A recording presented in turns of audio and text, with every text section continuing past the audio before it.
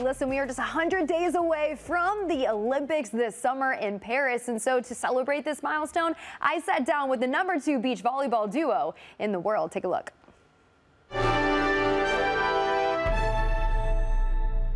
And we now welcome in beach volleyball duo Taryn Kloth and Kristen Nuss. Guys, we appreciate you taking the time. How are you? Hello, doing well. Thank you so much for having us. Well, I know you guys are so busy preparing for the summer here, but I got to start with the obvious question, and it's how this duo came to be. So we first started playing together at LSU. That's where we played our collegiate ball. Taryn transferred over after playing indoor volleyball, but at LSU is where we first made our debut together, and then we decided to pursue a professional career together with Paris 2024 being our top goal at the time. What goes into a good partnership? How did you guys know it was a match made in heaven? They do say something about chemistry on the court, and I I can speak to chemistry on the court, but I think that that also has to do with the chemistry that we have off the court. We have a really good relationship, uh, best friends. We live together. We do everything together. We travel together, and actually, our families get along really well. They they hang out without us. They go to all the tournaments. They spend a ton of time together. Well, you guys are always training with each other. You guys are good friends. You're living with each other. You can be honest here. Do you ever get sick of each other? we definitely we have taken on the there's a sisterhood so there definitely i think some sisters you you get you bicker a little bit you you definitely need some time apart and that's what we've established over the years that it's okay to spend some time apart um, but yeah, the, the sister the sisterhood has definitely taken over. you fight like sisters, and that's okay. We all can relate to that, right? Well, when you first two, uh, when you guys started off as a duo, you were considered the dark horse. How do you think your reputation has evolved since then? That feels like so long ago.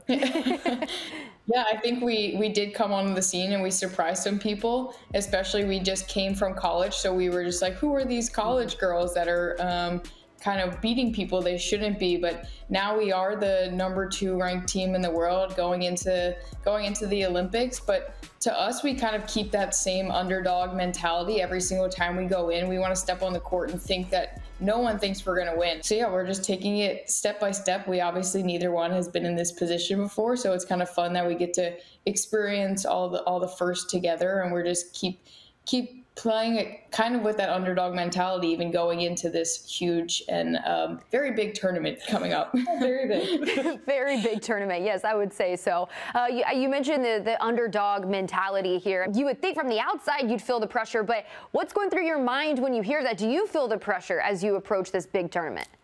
I feel it uh, as honor that you get to put on USA and you get to walk into the Olympics and you know what those three letters hold.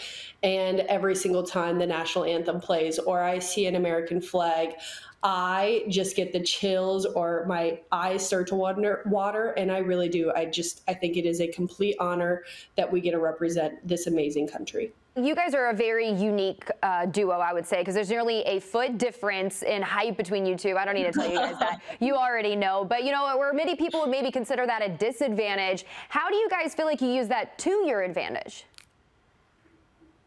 Yeah, I think um, for me, just being a defender, I'm obviously um, closer just closer to the ground, so a lower center of gravity. So I can maybe it's easier for me to get to balls that are closer to the ground. Just wait, it's it's physically closer to the ground. I am.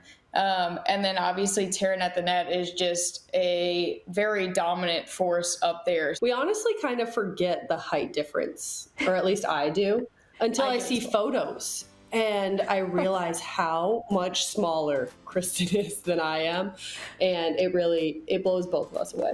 Not only are you guys a duo, but you're really good friends, you're roommates. So we're gonna play a little game if you guys are down. Are you ready? Oh boy, yeah. Okay. and you have to be honest here. Honesty is the best policy. Okay. okay. Which one of you is most likely to shrink your bathing suit in the dryer? Oh, probably me. I would say me. I haven't done it, but I would say me.